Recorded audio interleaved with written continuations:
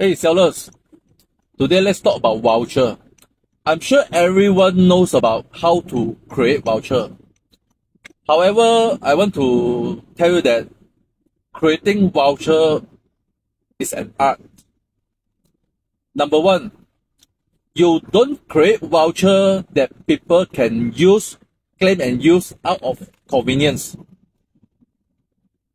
Because when people have intention to buy, you create a voucher out of convenience, people will just claim the voucher and buy.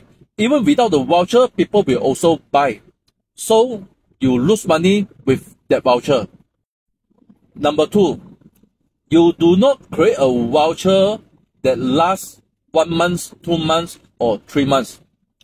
A voucher should be a maximum one week, preferable one day. Why? You need to create an urgency. So when people do not claim and use the voucher by today, the voucher is gone. So people urgent to use the voucher and make a purchase.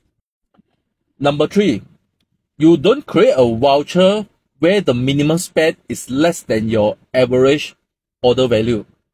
Because why? You need to create a voucher to make people spend more. If you create a voucher that's less than your average order value, you are create a convenience for people to purchase. That means even people do not intend to use voucher. I mean, even people intend to purchase without voucher, people will just use the voucher out of convenience. Unless you need to boost sales at certain time of the day, then that's a different story. So before you create your next voucher, you have to think what is the objective that you want to achieve and not simply create a bunch of vouchers without objective.